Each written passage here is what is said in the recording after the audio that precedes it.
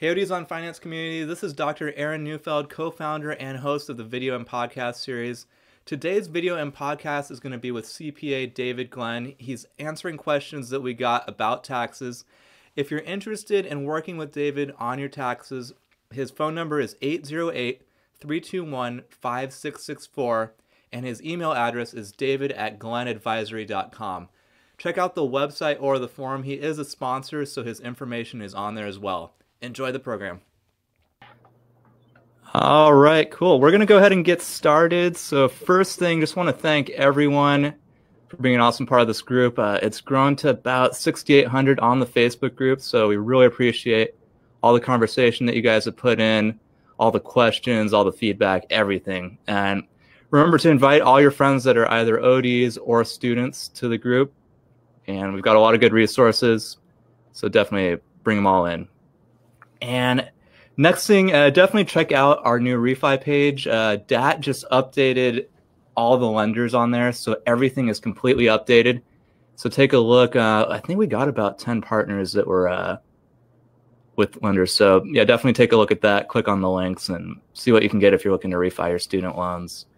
And to all of you that bought the book, about 200 of you, thank you from bottom of our hearts. We appreciate that.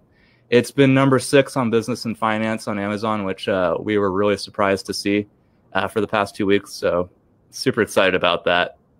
And once again, a portion of the book proceeds are going to go to Vosh, and we're looking forward to writing them a big check at the end of the year. Also, we're using another portion of those book proceeds to create a scholarship fund. So that's in the early works, and we'll keep you updated on that as well.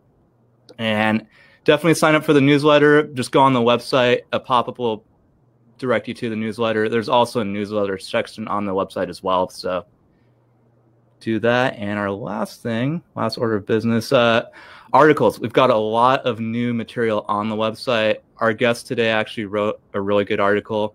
And we also have another few from Julie Fan on real estate. Also, our mortgage sponsor has written a really good article on the physician's mortgage. And I've written a couple on private practice. And then DAT is going to be releasing one soon on retirement. So definitely stay tuned for that. Take a look at the website, it gets updated pretty much every other day. And that's all going to be in the newsletter coming out tomorrow for you guys that are signed up for that. All right. So, yeah, without further ado, let's go ahead and get the program started. So today we have David Glenn. He is a CPA located in Hawaii. Uh, he's a doctor focused CPA. And what's awesome about him is he's all about doctors. So David, just tell me a little bit about yourself, a little bit about your practice, uh, your education experience, and all of that. Yeah, first off, thanks for having me on here. Um, yeah. So, like you said, I'm a, a doctor-focused CPA. So my current practice, I only accept uh, clients who are doctors, so that could be optometrists, dentists, uh, MDs, DOs, uh, whatever the case may be. Um, and so that's my focus. I found that by focusing on that group, I'm able to provide a really high level of service and planning uh, that I think most CPAs um, kind of miss out on because they're not focused uh, on that. Um, so I, like you said, I live in Hawaii. I, uh, my wife's a professor out here, so that's what got us out here. That's why it's it's still daytime for me. Yeah. And, uh, and so I, I have, like I I'm a CPA, I have a master's in taxation, and uh, I did two years as an IRS agent right out of school. So I'm glad to have that time behind me, but it was a good experience to do that. So yeah, you know the ins and outs of yeah. the tax world. Yeah. Cool. Well, let's go ahead. Yeah, let's get started. So we have quite a few questions from members. So I'm just going to rattle through those. And the first question, which uh, you actually wrote an article kind of similar to this. Uh, this was from one of our anonymous members. They asked, "What is best, an S corp, a C corp, or an LLC for a practice owner?" So if you can just kind of give an overview of each of those and the pros and cons, and why would you choose one or the other? Okay. Yeah. So, um, like you said, I wrote a, a, post that goes into pretty good detail on this. So I'll just kind of give a, a highlight of that.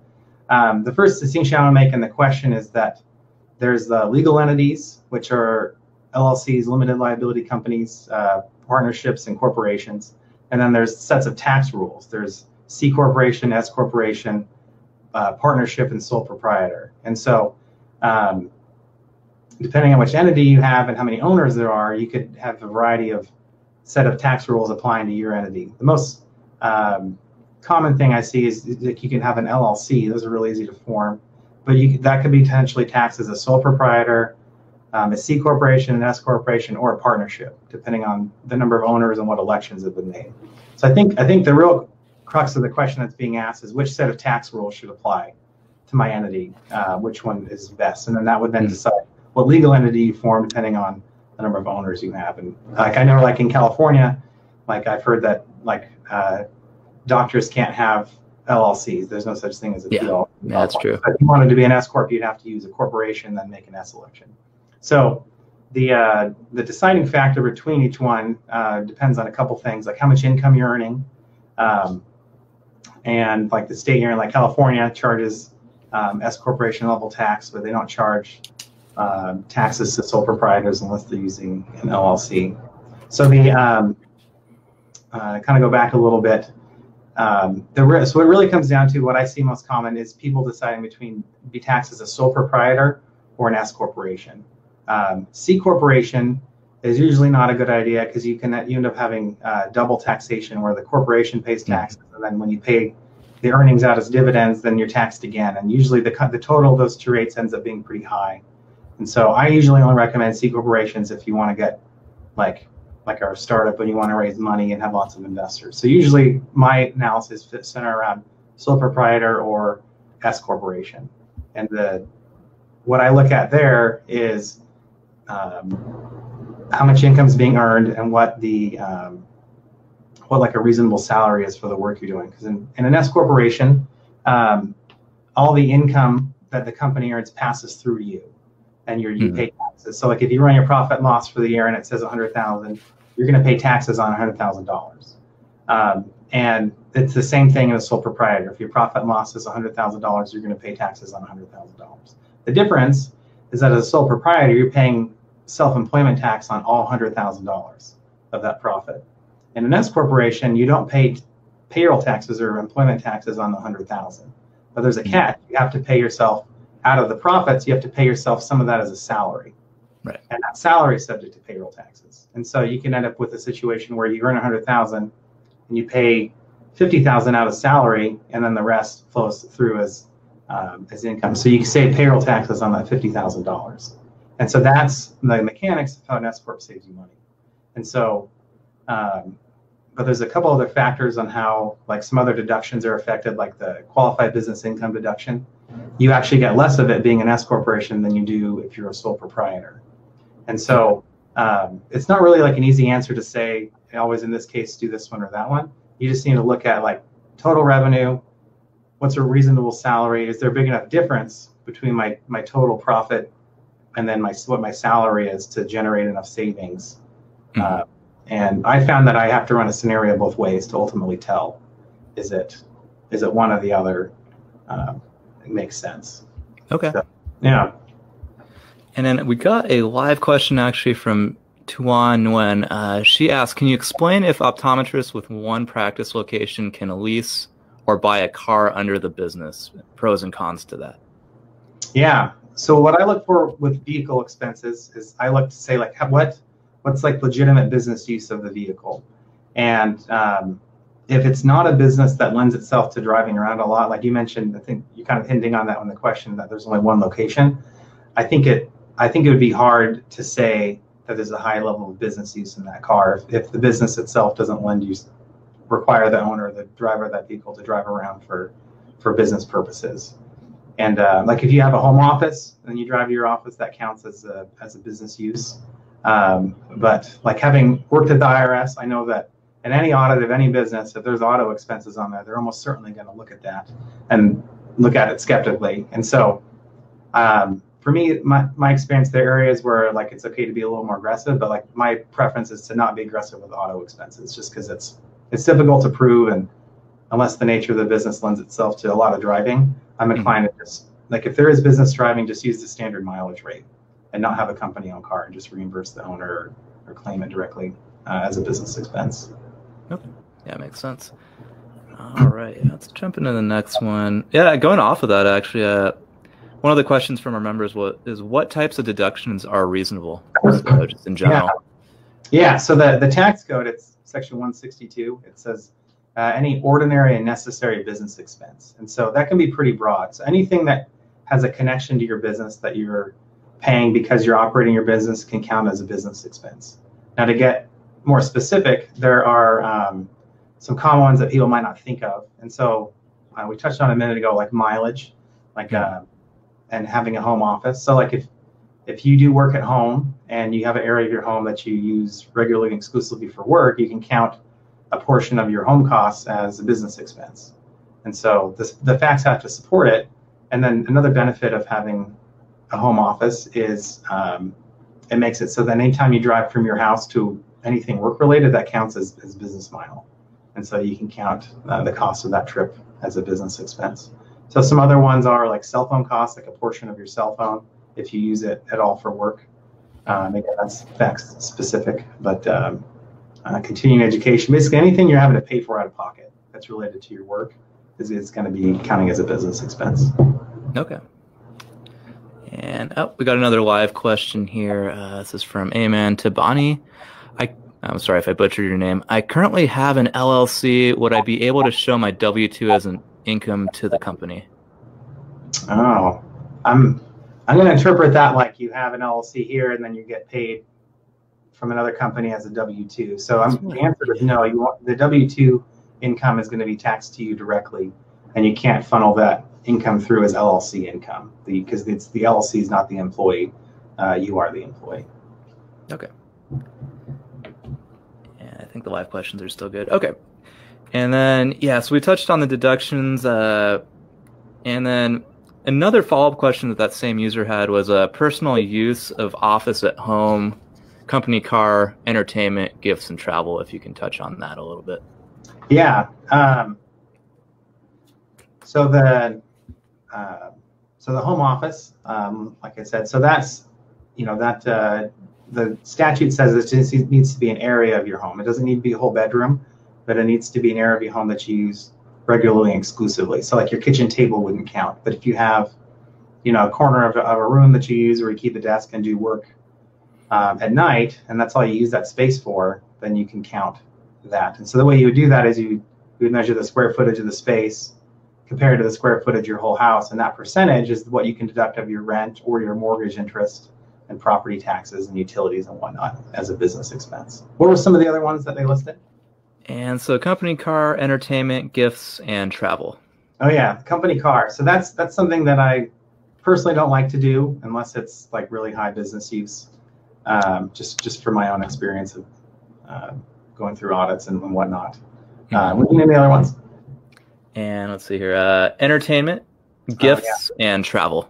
Okay, yeah. So entertainment uh, that could be like taking uh, clients or, or coworkers out for for entertainment. And actually, there was a change in the tax law effective for 2018 that made all entertainment not deductible. It used to be 50% deductible, but now it's not deductible. So that would be like sporting events, trips, uh, like for people. Um, but meals are still 50% deductible. And a meal for it to be deductible, you either have to be out of town, so like outside of your metropolitan area, mm-hmm. or um, there has to be a business purpose to the meal. So like you're eating with other people, um, and it's it's related to business that way. So that's the that's the criteria for that.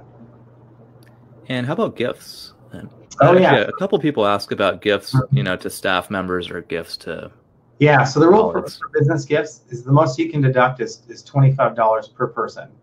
Okay. Uh, like per gift. So you got to give out those $25 gift cards, you can deduct all that. But if they're $50 gift cards, you deduct half of it. Okay. Uh, per gift card. Is there a limit to that, or is that just every time there is a gift? Or? I think it's per person per year. Per, okay. Yeah, it's pretty. It's pretty limited in that way. All right. Yeah, and then we got a follow up question from our user that asked about the LLC and the W two. Uh, she said, "Thank you. So would I, so would I have to be a 1099 to file under my LLC?" Yeah. So in order to show it as income of the LLC, the the 1099 or the the payer paying that would have to be paying it to the LLC, and then the 1099 issued to the LLC, and then from there you'd have to figure out how you want the LLC to be taxed. Like if it's just you as the only owner, it's no different. It's not any different than not having an LLC. So if you wanted to do any file it any other way, you'd have to uh, have another owner and be taxed as a partnership, or make an election with IRS to be taxed as a S corporation or a C corporation. But just having the LLC with the only owner doesn't do anything. All right. Here's another question about cars uh, from an anonymous member. Is it better to buy or lease for a company deduction and also a luxury car or practical car? Ah, so I think with vehicles, do whatever is going to cost you like the least amount. Like, so the hmm. cost of a car is the, the depreciation on it, wear and tear, whatnot. Um, so it just comes back to whether like, like if you're using a car for business, you can have the company own it and pay for all the expenses, or you have and then the not the company own it, and then the company reimburse that person for any business use of that car. And so if it's really high business use, uh, almost 100% or 100%, I prefer to have the company own it and the company just pay for all the expenses. If it's if it's not 100% or close to 100%, I prefer to have the individual own it and then the company just reimburse the individual for the use of the car. That's going to be like the most defensible way to claim the auto uh, expenses. That makes sense. And then a simple IRA versus regular IRA, how to choose. Okay, so it's not necessarily an either or. Like a, a simple mm-hmm. IRA is an employer sponsored plan. So if you wanted a simple, you'd have to have an employer plan that, that sponsors that, and then you're deferring money into the simple IRA. Um, and there's no income limits. Like like if you, you can earn too much money and not be able to contribute to a regular IRA. I think for married people, it's like in the 100 to 121,000 or something like that of, of income. It changes every year. Um, so it's easy to phase out um, uh, being able to contribute to a regular deductible IRA. Um, I was talking to Aaron before, and I, I learned that the average starting salary for optometrists is around 120,000. So if you're if you're done and working, you're probably making too much money to contribute directly to an IRA, a deductible IRA. Mm. Um, but simple needs to be employer sponsored. So you need some kind of self-employment income to be able to do that. Right. Okay. And let's see here. Okay, so this is from an, another anonymous member. Uh, what is the best way for an S corp to distribute dividends? Except, and uh, they also asked during the end of the year, and then also to reduce tax liability. Yeah. Okay, so there's a couple of things in that question I'd want to clear up 1st mm-hmm. um, the term dividend has a specific definition when we're talking taxes, and it, it means a payment out of the earnings and profits of a C corporation. So dividends, by definition, are taxable payments to the shareholder of a corporation. So unless the S corporation has um, used to be a C corporation, the, the term there won't be any dividends. So the, the term that we would that we use in the code uses is distributions. Sometimes people call it draws. Yeah, that's what they're trying to go for. Yeah. Yeah. So just to clear that up, so there's no confusion with everyone else out there. So, um, and it really doesn't matter how much you distribute or don't distribute out. You're still going to be taxed on the profit of the company. So, like if you're if you have an S corporation and earns a million dollars, and you don't take out any money during the year, you're going to pay taxes on the million dollars that it earned. And that's the very that's the hallmark of pass-through taxation is that it's not tied to the any any payments you receive. It's just whatever the, the profit and loss says at the bottom more or less is what you're going to be taxed on. And so, um, yeah, so it doesn't really doesn't really make a difference, I guess. Okay. And how does profit sharing work for owners and staff? Yeah. So I'm assuming that this is profit sharing in the case of a 401k plan. That's what I'm imagining this would yeah. be for. Yeah. Uh, so so profit sharing, the term's a little misleading. What it really is, is it's it, it's a component of a 401k plan where the business contributes to each employee's account a certain percentage of their compensation. And so it can be as high as 25% of compensation. So like there are basically three ways to get money into a 401k. So you defer money from your paycheck and it goes into the account. There's a match that the employer makes as a percentage up to a certain percentage of your total compensation. And then the third one is this profit sharing where it's a percentage of your compensation. So like so if you're a practice owner and um, you're, let's say you're an S corporation and you're taking a salary of 175, um, well, you run into a cap if you do that. So let's say you're taking a salary of, of 100,000, mm-hmm. and so you do a profit sharing of 25% for everybody. You're going to get a, a $25,000 profit sharing contribution to your 401k, in addition to hopefully the deferral that you made, and then any matching contribution that's available. So that's a, that's a real good that's a really beneficial component to have of a 401k. Mm-hmm. If you have other employ, if you have employees, it can it can get expensive for you as a practice owner to have that because you're putting more money into their plan. And maybe maybe that's part of what you want to do to encourage people to stay and as just additional compensation. Right. But it's also a really good way to save a lot for your own retirement. Yeah, makes sense. All right, we got two questions from uh, Tuan again.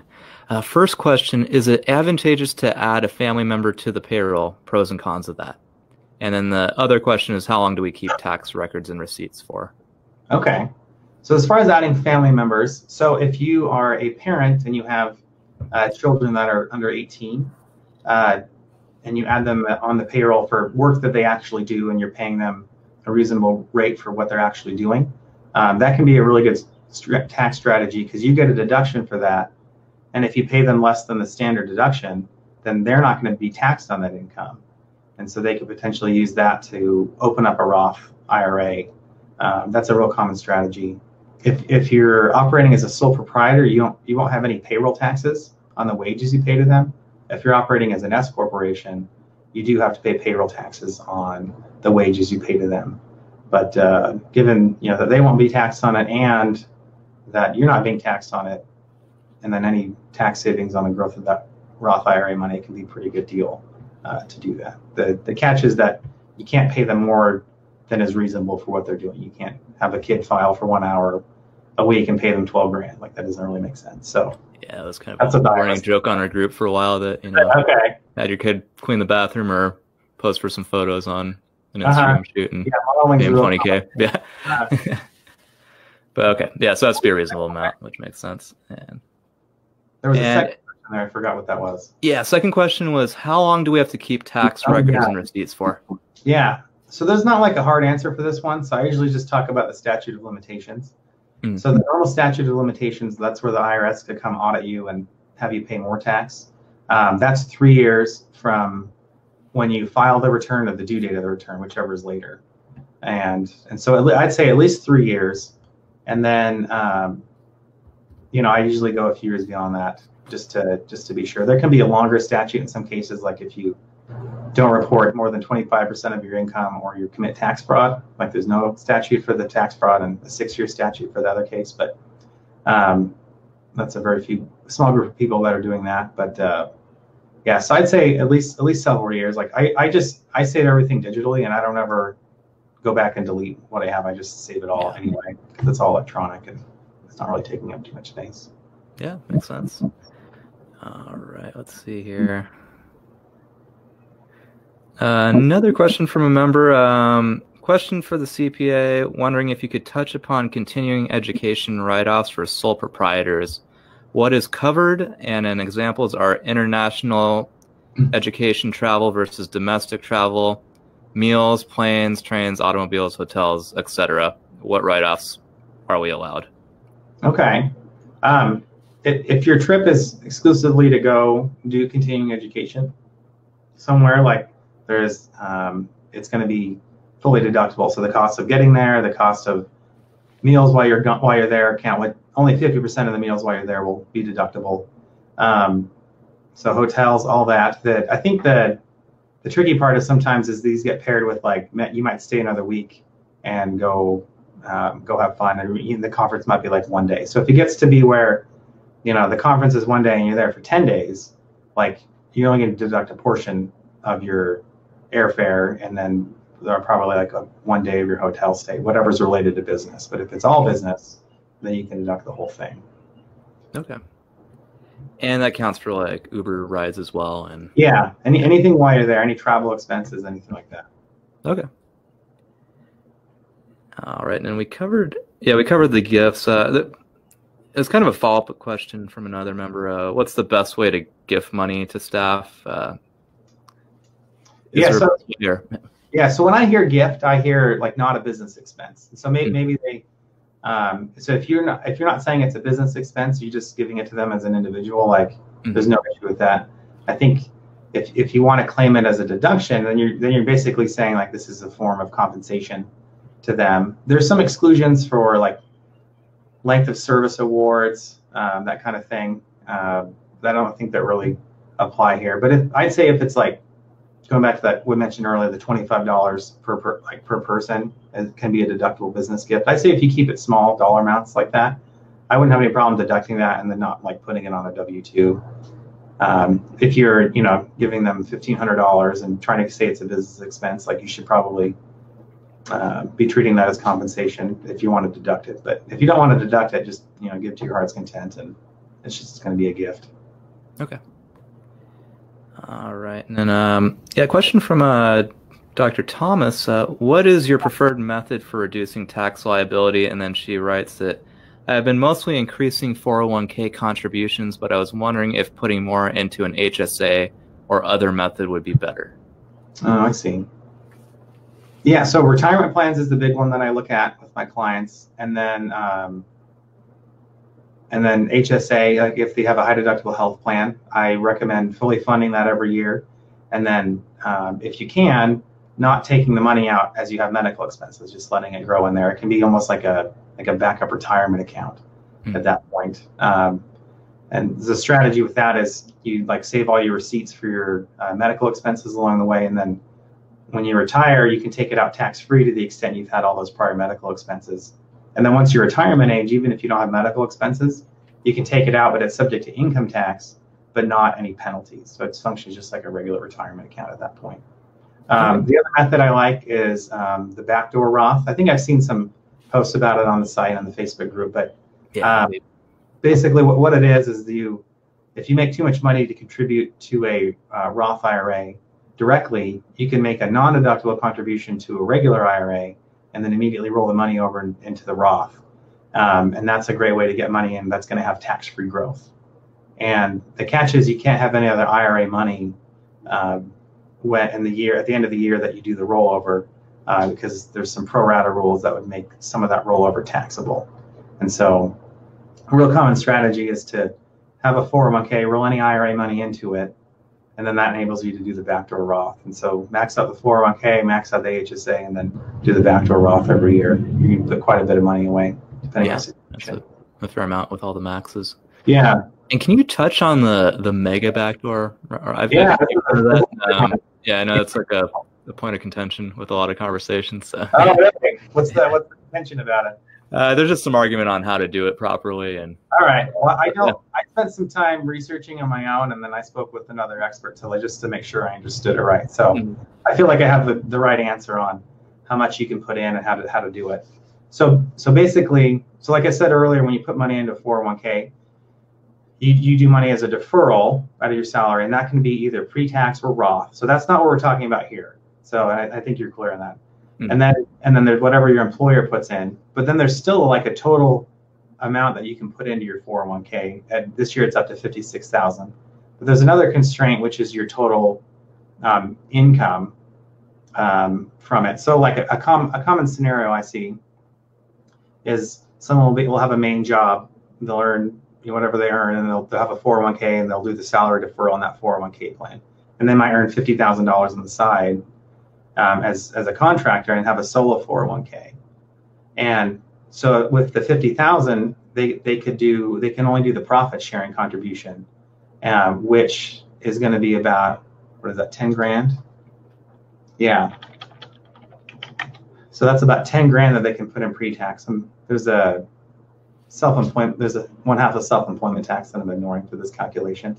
Um, but they're going to put in about 10 grand as a pre-tax and um, and without without this mega backdoor Roth feature, um, that would be all that they could put in, and that's all that they can make as a deductible contribution. But if their 401k plan allows two features, uh, in-service withdrawals and after-tax contributions, they could put in more money. And so what the after-tax contribution is is the employer, the employee, or just this this person in my example can can put in an additional um, forty thousand dollars into their 401k, and it's it's not deductible, but they can just put it in as an after-tax contribution. And so the constraint in this case is the um, the fifty thousand dollars of income that they have, um, and so they could put the forty thousand in, and then they are able to roll it out into a Roth IRA, and that's the in-service withdrawal piece. And because and you're able to segregate it, there's no like pro rata rule that gets applied.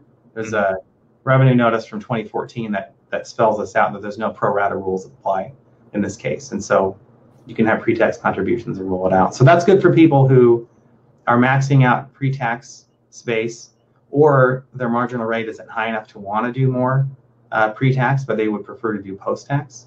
And then so then you would roll it out um, and be able to do that. And like the, you need a special kind of plan to do it. And so the ones that I've seen usually charge uh, three or four hundred dollars a year, two or three hundred dollars a year to have this special plan document in place that allows this.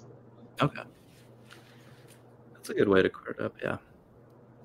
All right, and then one other question. I think this was a good one, actually. Uh, this was from our member, Dr. Jading. Uh, as a potential buy-in and sitting down with the practice's current CPA, could you recommend the most important information to take away uh, to get the best practice metrics, I guess, before buying a practice? Oh yeah. So is this buying into an existing practice, or is this like you're taking over completely? Buying a practice in whole is from that's what I'm getting from this question. Okay. And she just wants the CPA's take on what what the best things are to look for. Yeah, so I read. Yeah, I read it. So like, if you're buying into a practice, that's how I read it initially. Um, yeah, or either way. Yeah. Yeah, I'll, I'll talk about both. So if you're buying into an existing practice and you're going to be like an owner, um, things I would make sure to understand, like how exactly you're going to be compensated, how is that determined? So it's all spelled out ahead of time. How and when are distributions going to be made? Like how are you actually going to get money out? Like besides maybe your normal base compensation. Um, what do you expect things to be like in the future? Is it growing? Is it not growing? Um, and then when you do want to exit, how are you going to be bought out? Um, so I guess those, some of those would carry over if you're buying a solo practice. Um, I'd look at look at cash flow um, to see like is it is it like what's the cash flow like? Is it is, it, um, is there a lot tied up in receivables or like how is how is that working? Um, that's that's probably the biggest thing that I I look at, and then to see um, like where the new business is coming from and that kind of thing. Okay.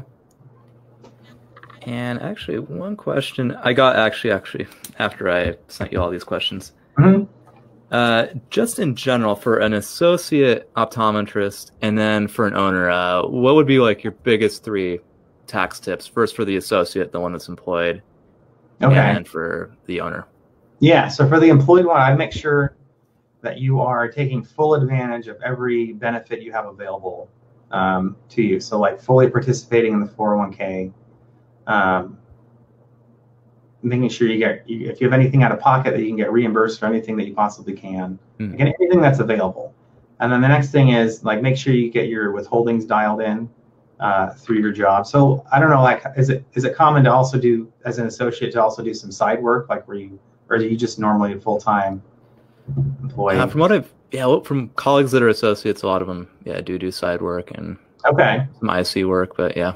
Yeah. So if you have side work going on and like that's like 1099 income, mm-hmm. like the best thing to do is to adjust your withholding at your main job to pay the taxes that are going to be due on the contract work as well. Okay. So you have to make estimated payments, potentially minimize any estimated tax penalties. Okay. Uh, yeah, I think that's the big things there. And then and uh, for owners, yeah. Yeah, for owners, I'd say look at um, I'd say look at um, getting the best type of retirement plan that you can get because that's like that's the biggest tool you have to reduce your taxable income is um, is retirement accounts. And so if you have employees, it's going to be a little bit more difficult to to really max it out than if it was just you. Uh, but I'd make that a priority, finding the best type of plan, whether it's a 401k or a simple IRA, um, and coming up with a strategy of how you're going to get the most amount of money away um, pre-tax. And then um, I, one thing that I like to do with all my clients is, is I do a marginal tax rate analysis. And I actually see, like, on every $5,000 of pre tax contributions to a retirement plan, what's the actual marginal tax rate on that? How much is what, as a percentage of what you put in, how much is it reducing your taxes? And depending on how much income you're at, that, that can vary a lot. Because, like, with the qualified business income deduction, it actually takes away some of the benefit of making um, pre-tax retirement contributions, but in some cases it actually can um, amplify the pre-tax. It can inc- increase the qualified business income deduction if you're in the phase-out range. So there's some complexity there to plan for. So if you're at the right range, you might only be getting like 19.2% um, federal uh, marginal tax rate on your retirement contributions. And then you might want to think about like, should I be doing Roth at that point? Like, what do I expect to be um, at in my retirement? Um, mm-hmm. so getting getting that dialed in because that's something that once you get set up and have execute year after year, that can create a lot of value for you. So you get it done the right way. Okay. And then yeah, one other question: any tax pitfalls? Uh, the yeah. I think the biggest thing is going from being an employee to being self-employed. The big shift is having to make estimated payments or, or being more responsible for how much you're paying in during the year. It kind of happened automatically for you as an employee and it's really easy to get behind it and not set aside enough and you suddenly you get a $20000 tax bill. And then and then you're tr- struggling to catch up with that while you need to pay the current year's estimated taxes. So it can create this like multi-year cycle where it's hard to get out of it. So i think the biggest thing is be super proactive about paying enough in during the year like and it's it's going to hurt a little bit because you're not used to having to like write checks and do that kind of thing to the government but get get in that mode and stay on top of it. Okay and then we got a comment from uh, Satish. I think the mega backdoor Roth question is about practice owners with employee participants doing mega backdoor Roth through their office 401k, not the solo 401k route. Oh yeah, so it, would be the same. Okay. Um, yeah, I wouldn't. You, you can have like if you have employees, um, you can you can allow them to be able to do it as well. I'm I don't I'm not aware of any differences that would happen if you had other participants besides yourself in the plan, like they, they could also do it. I think that a fair number, I saw a study on, online, I think a, a, pretty large percentage of plans allowed you to be able to do this. Uh, okay. But it's certainly not a standard feature. But Right. Cool. Well, I think that's all the questions that I have and all the ones that are on the live feed at this point. Okay. Is there anything else you want to add? Anything that we didn't talk about? That... Uh, no, I think we got a pretty good get pretty good coverage of things.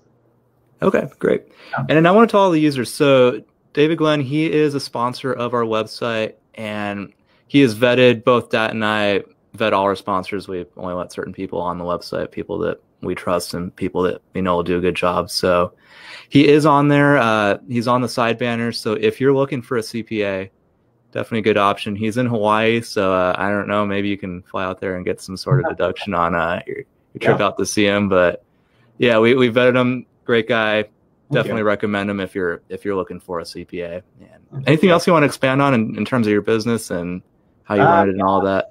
I'm looking to grow. I'm um, you know focused on um, on doctors and and helping them out and and being really focused on that and doing a high level of service. A lot of um, people will a lot of CPAs aren't aren't very proactive or they're really reactive. Like you'll see them once a year. So my business model is to be really proactive with new clients and setting up the best tax plan for them, and then um, you know talking to them once or at least at least once in the fall to check in on things, and then being available year round as, as things change and to answer questions. So it's more of a full service business model than than a transactional once a year. So a lot of people look for that and appreciate that um, in a CPA, um, and it's not as common as I think it should be. Yeah, so, yeah definitely. Yeah. And Satish has one more question, uh, I think, still regarding the uh, mega backdoor. He says, "My understanding is it fails the testing. What do you think of it?"